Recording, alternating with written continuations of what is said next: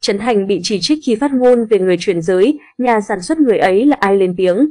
Tập 1 của chương trình Người ấy là ai?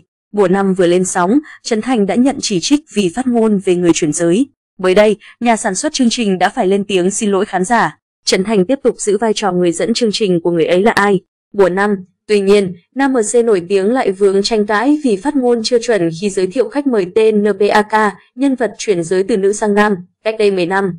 Cụ thể, Trấn Thành đã nói về NPAK, anh ấy từng là một phụ nữ. Cái tay này, người ta phải mở mạch máu ra rồi đưa hormone và mọi thứ vào để chuyển giới. Tuy nhiên, các bác sĩ và người có chuyên môn cho rằng đây là phát ngôn sai bởi việc tiêm hormone nam, cụ thể testosterone vào mạch máu là việc làm chống chỉ định. Bác sĩ Nguyễn Khoa Bình nhận xét trên kênh TikTok của mình khi nghe những thông tin này. Tôi cũng giật mình vì nếu đưa testosterone trực tiếp vào mạch máu thì người ta có thể đăng xuất tức khắc. Thực tế, chỉ có thể trích testosterone qua cơ chứ không thể là mạch máu như thông tin của chương trình đưa ra.